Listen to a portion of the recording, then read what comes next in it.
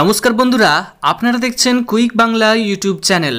বন্ধুরা, যখন বিধানসভা ইলেকশন হয়েছিল, তখন কিন্তু তৃণমূল দলের তরফ থেকে ইস্তেহার প্রকাশ করা হয়েছিল এবং সেখানে বলা হয়েছিল যে দুয়ারে রেশন প্রকল্প চালু করা হবে, তারা যদি ক্ষমতায় আসে। এবং ক্ষমতায় আসার পর এটাই প্রশ্ন যে দুয়ারে রেশন কবে থেকে শুরু হচ্ছে। এবং বন্ধুরা, আপনাদের জানিয়ে দিই, এই যে দুয়ারে রেশন প্রকল্প কিন্তু প্রত্যেকটি রেশন ডিলারের আন্ডারে লোক নিয়োগ করা হবে। অর্থাৎ বন্ধুরা, আপনারা কিন্তু একটা চাকরির সুযোগ পেতে চলেছেন। তো বন্ধুরা, এই চাকরিটি বা এই জবটি কীভাবে আপনি পাবেন এবং কোথায় আবেদন করতে হবে, কবে নাগাদ এর আবেদনপত্র শুরু হতে পারে, কোথায় পাবেন এই আবেদনপত্র, তো বিস্তারিত আপনাদের এই ভিডিওতে জানিয়ে দেব। তো পুরো ভিডিওটি অবশ্যই শেষ পর্যন্ত দেখতে থাকুন। আর আমাদের চ্যানেলটিতে নতুন হয়ে থাকলে সাবস্ক্রাইব করে রাখুন।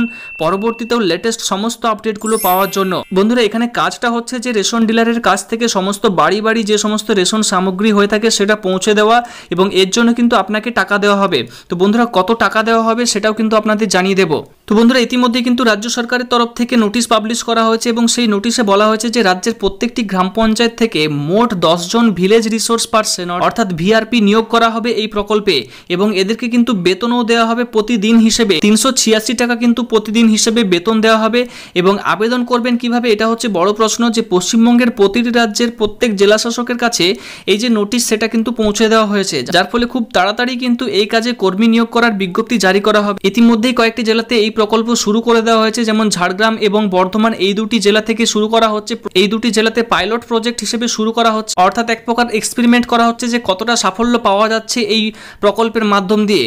এবং তারপরে কিন্তু সমস্ত রাজ্য জুড়ে পুরোপুরি নিয়োগ প্রক্রিয়াটা শুরু হয়ে যাবে।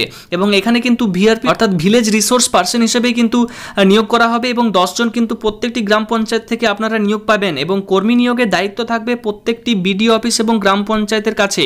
তাই যে সকল ব্যক্তি এই প্রকল্পে কাজ করতে ইচ্ছুক হয়ে থাকবেন বা এই প্রকল্পে কাজ করতে আগ্রহী, তারা কিন্তু তাদের যে নিকটবর্তী পঞ্চায়েত বা বিডিও অফিস সেখানে গিয়ে সরাসরি আপনারা যোগাযোগ করতে পারেন এবং আপনারা খোঁজ রাখবেন যে কবে নাগাদ এর ফর্ম বেরোচ্ছে বা, এবং গ্রাম পঞ্চায়েত বা বিডিও অফিস থেকে সরাসরি আপনাকে নিয়োগ করিয়ে নেওয়া হবে এবং কি কি ডকুমেন্টস প্রয়োজন হবে সেটা কিন্তু সেই সময়ই বলে দেওয়া হবে। তবে বন্ধুরা, এখনও পর্যন্ত যেহেতু এটা এক্সপেরিমেন্টাল ওয়েতে চলছে, বেশ কিছু জায়গাতে এক্সপেরিমেন্ট করা হচ্ছে। বন্ধুরা, সেই সমস্ত জায়গাগুলিতে যখন সাকসেসফুলি কাজটা করে নেওয়া হবে, তখনই কিন্তু পুরো রাজ্য জুড়ে চালু করা হবে এবং আপনাদের বলে দিই যে পাহাড়ি অঞ্চল যে সমস্ত রয়েছে বা পাহাড়ি এলাকা যে সমস্ত রয়েছে, সেখানে কিন্তু এই যে প্রকল্প, সেটা কিন্তু চালু করতে এক প্রকার অসুবিধার সম্মুখীন হতে হবে বলেও কিন্তু রাজ্য সরকারের তরফ থেকে জানানো হয়েছে। কিন্তু এই সমস্ত নিয়োগগুলো করা হবে এবং আপনারা অবশ্যই আপনাদের গ্রাম পঞ্চায়েতের যে পঞ্চায়েত এবং বিডিও অফিসে আপনারা অবশ্যই খোঁজ খবর রাখবেন।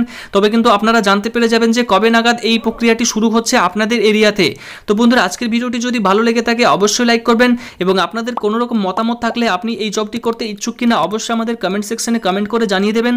আর আমাদের চ্যানেলে নতুন হয়ে থাকলে সাবস্ক্রাইব করে রাখবেন। পরবর্তীতেও এই ধরনের গুরুত্বপূর্ণ আপডেটগুলো সবার আগে পাওয়ার জন্য।